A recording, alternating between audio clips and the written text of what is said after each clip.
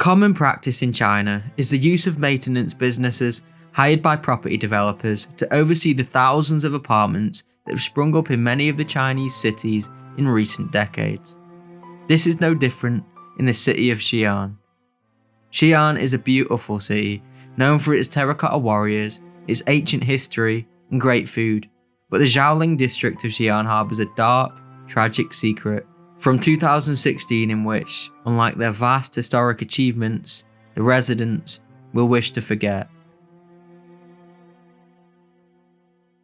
A woman who has only been named as Wu lived on the 15th floor of an apartment building in the famous northwestern city and was known to keep herself to herself. In fact, not much is known about her at all, but it was claimed that she was 43 years old. Her neighbours mostly described her as quiet, a bit of a loner but polite, and according to her family members, she had a history of mental illness. According to accounts, two repairmen cut off the power to the elevator on January the 30th, 2015, after it malfunctioned between the 9th and 10th floor. The plan was to fix it, but it was Chinese New Year, so they decided they would do it after. A month long wait for an elevator repair is rare, but many businesses and services come to a halt during the New Year break. Despite the fact that the official holiday only lasts approximately a week, many employees take time off before and after the holiday, creating significant disruption to many commercial services, especially those in building maintenance. Before the repairmen turned the elevator off, they shouted to check if anyone was inside. The two repairmen didn't hear anything back and assumed no one was in the elevator. This shouldn't have mattered anyway. The protocol would have been to pry open the door before leaving to see if anyone was inside. The two failed to do this. If they had have done this, they would have realised Wu was still inside when they decided to leave.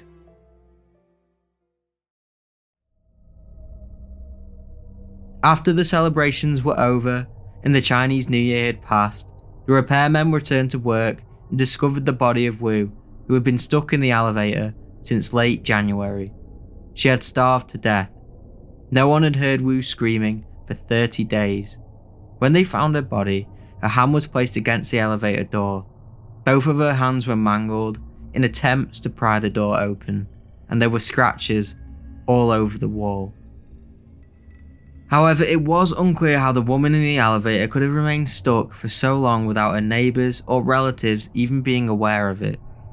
According to the local media sources, the woman was mentally ill and her family felt that she had simply gotten lost or disappeared on purpose.